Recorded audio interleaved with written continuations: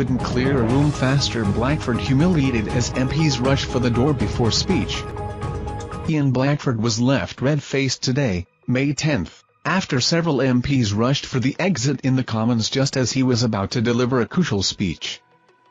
The SNP's Westminster leader was in the chamber alongside the likes of Prime Minister Boris Johnson and Labour Party leader Sir Keir Starmer following the annual state opening of Parliament.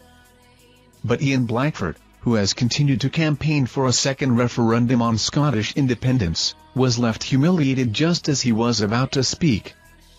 House of Commons Speaker Sir Lindsay Hoyle can be heard telling MPs, I now call the leader of the SNP, Ian Blackford, but just as he makes that announcement, dozens of MPs stand up, leave their seats and head for the exit doors.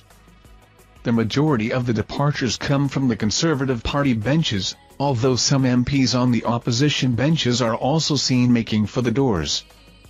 Mr Blackford initially begins his speech, but appears rattled by the commotion of MPs leaving around him, before then taking his seat again.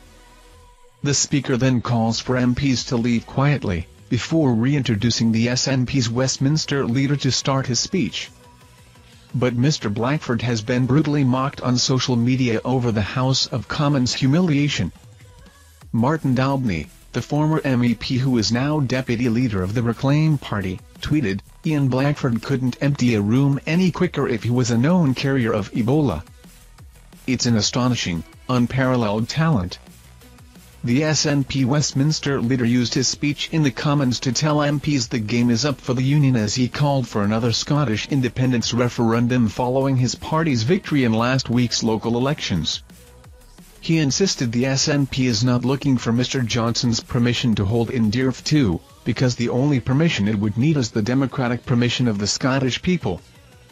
The two men have frequently exchanged heated words on the Commons over the issue, with the Prime Minister repeatedly insisting he will not bow to the SNP's independence referendum demands. Elsewhere in the speech, Mr Blackford also called on the government to get a grip on the cost of living crisis by accelerating an emergency budget following the agenda-setting Queen's speech. The Ross, Skye and Lochaber MP also took a swipe at the Tories and said they had suffered a Democratic drubbing in the local polls, adding it was the SNP's 11th election victory in a row.